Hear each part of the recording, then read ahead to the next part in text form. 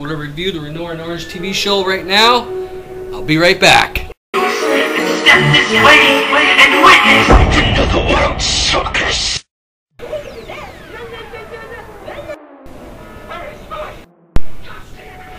Okay, everybody, recap episode one of the Annoying Orange. Here we go.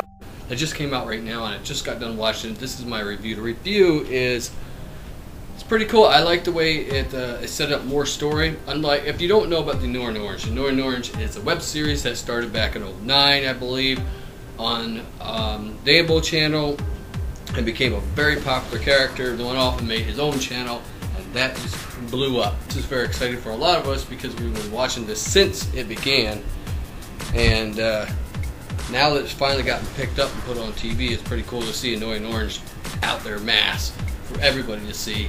And a lot of people are now going to either, if they didn't know about it, they're going to catch up and find out about it, look it up on YouTube, and find go rewatch all the episodes because it's a lot of them now. We got to see what Marshmallow's homeworld is. I mean, as soon as you saw the candy, you knew it was Marshmallow's homeworld, which was pretty cool.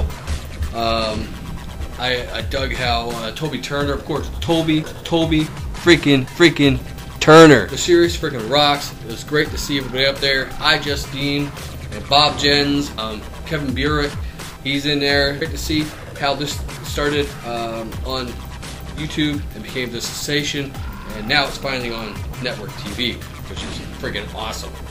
I'm doing that too. I, know, I'm chronicling my uh, success in comic books. I write Terrorklowns, my own comic book series. You can check the links down below. Um, you can follow me here on this channel. Keep on track there because when that becomes a success, you can watch on YouTube too becomes a success. So I'd love to have you come along, join the Terrorklowns Army. Awesome show.